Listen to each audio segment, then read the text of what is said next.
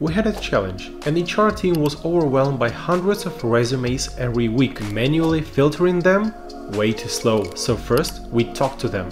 What do they actually need? A system that could scan CVs, match them with the job requirements and show only the best candidates. We mapped out the idea. HR inputs job criteria, experience, skills, language. The system analyzes resumes using AI and shows us the ranked shortlists. We chose Retool to build interface fast and integrated OpenAI to analyze resumes. Morning, you are in Retool, connect to resume database, add job requirement filters. Afternoon, AI scoring logic, candidate shortlist view, quick testing and feedback.